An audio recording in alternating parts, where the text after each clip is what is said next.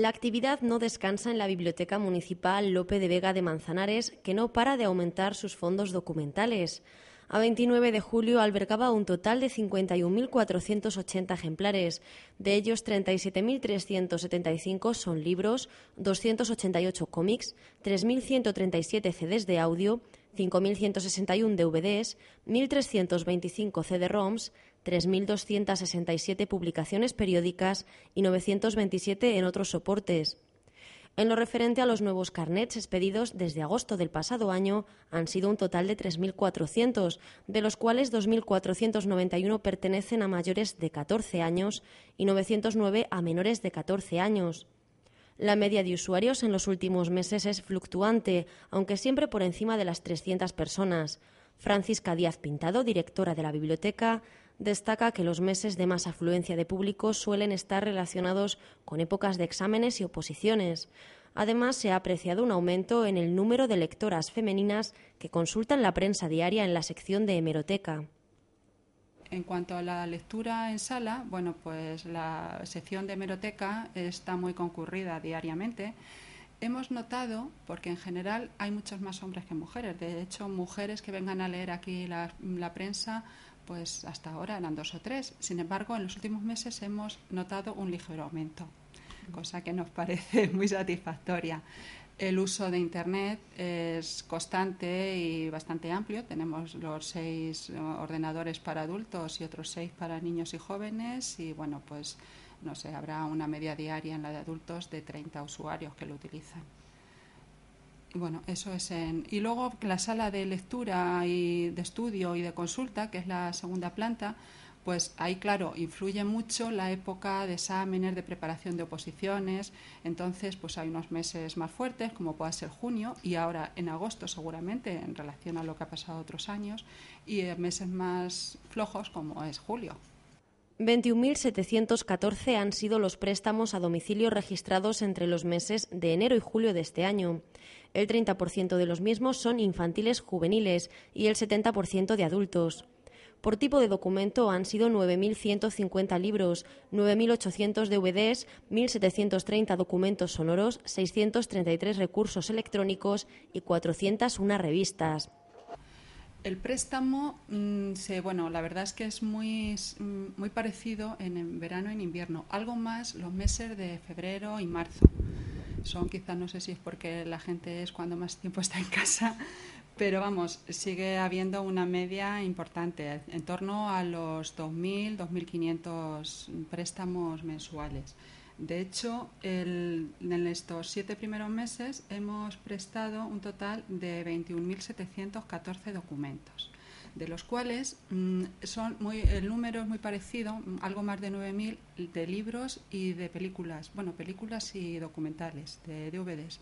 Y luego ya muy por debajo están los documentos sonoros y las revistas.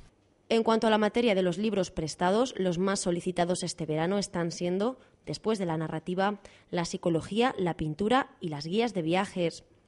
El préstamo de cómics sigue aumentando desde la creación de la Comicteca.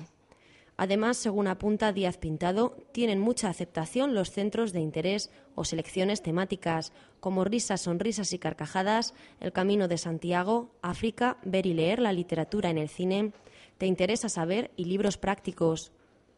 Los adultos lo que hacemos es la guía de lectura y una serie de centros de interés que bueno ponemos a su disposición y que la verdad es que se utilizan bastante porque a la hora del préstamo además de libros bueno que están que son bastante comerciales o que bueno toda la gente conoce y piden luego mm, se prestan mucho los libros y las películas y documentos sonoros que ponemos en los centros de interés.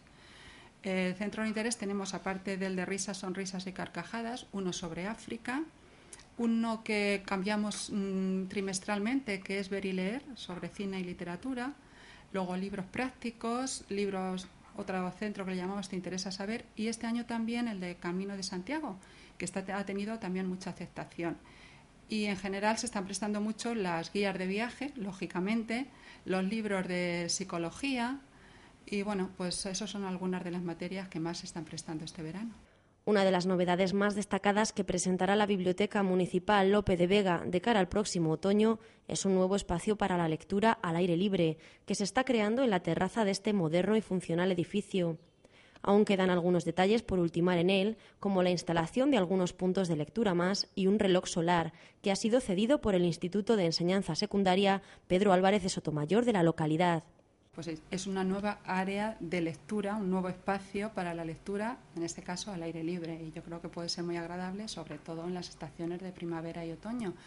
Eh, bueno, se ha empezado ya a instalar, de hecho eh, en junio ya se ha utilizado por algunos lectores, lógicamente ahora en verano pues el tiempo no lo permite, pero bueno, se va a terminar, falta todavía algunos, algunos puestos de lectura y luego además la instalación de un reloj solar que nos donó el Instituto Sotomayor y que se va a instalar pues mm, próximamente. En cuanto a las actividades que están programándose de cara al otoño-invierno, se continuarán realizando las actividades de animación a la lectura en colaboración con los centros escolares. También están ya previstas tres exposiciones para el último trimestre del año.